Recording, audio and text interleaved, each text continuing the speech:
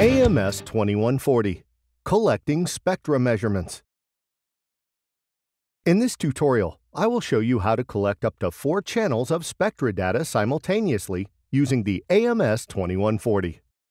As we review this technique, you'll note a visual reference to the CSI 2140. Please be aware that this product has been rebranded as AMS. Here you see the home screen of the AMS 2140. Start by selecting F7 Advanced Analyze. On the application screen, select F1 Manual Analyze. Here we can define what and how to measure, starting with F1 Set Analyze Mode.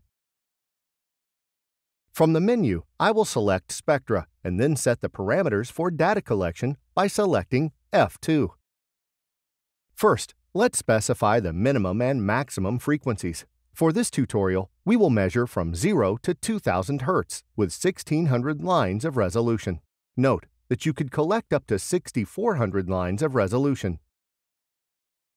With these settings, we will have a resolution of 1.25 Hz per line.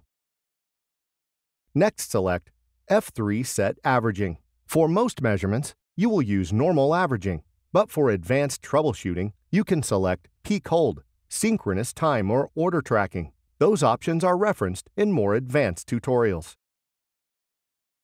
Next select F5 Set Mode. In normal mode, you can specify the number of averages. In this example, that means every measurement will be repeated four times to calculate an average spectrum. Another option to look at here is the F5 Set Mode. If you select Monitor mode here, the analyzer will act as a kind of oscilloscope, allowing you to look at the signals in real time. Data collection would continue until you manually stop collecting. Then you have the option to store the data. In this tutorial, we will use Acquire mode, where collection will stop automatically after the specified number of averages is acquired.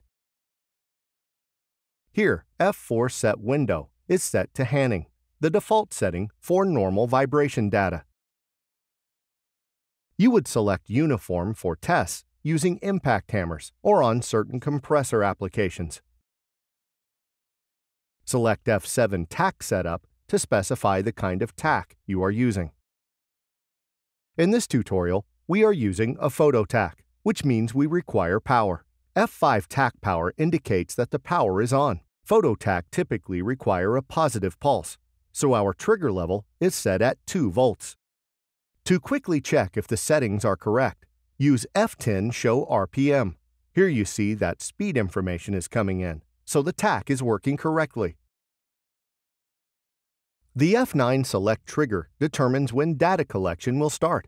If you select off, collection will start immediately. If you select one of the other options, data collection will begin when the condition exists. For example, tach trigger means that collection will start with a tach pulse is measured.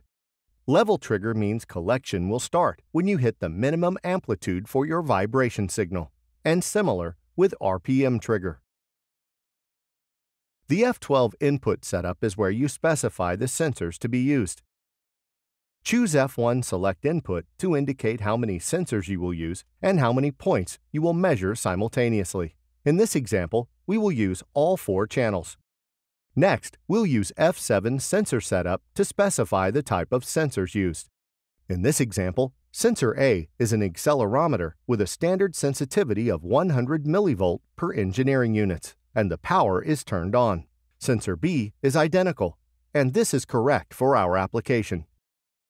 Use the Alt key to go to the next screen, and we see that sensors C and D are set up as displacement probes. These settings are typical of most displacement probes, but always check the manufacturer's datasheet for the exact settings. We will be working with four accelerometers, so these settings will need to change. Use F2 to change the sensor type, F3 to change the sensitivity, and F4 to turn the power on.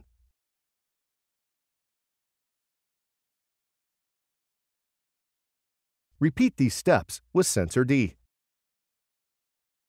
While the waveform and spectrum settings are correct for inputs A and B, we need to correct the spectrum units for inputs C and D to velocity using F6 and F12. Now the configuration is done, and we can press Enter to collect data.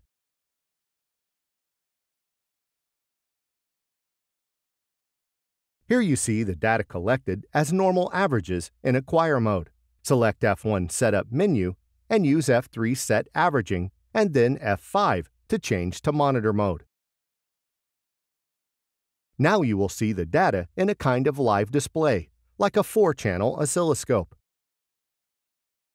You can install a cursor on each of the plots.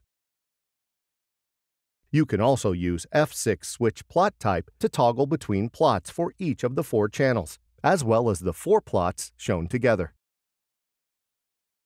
This concludes our tutorial. Please continue watching to select from other recommended tutorials, or visit the AMS Reliability channel for the AMS 2140 playlist. Additional product information can be found at emerson.com slash AMS 2140. Thank you for watching.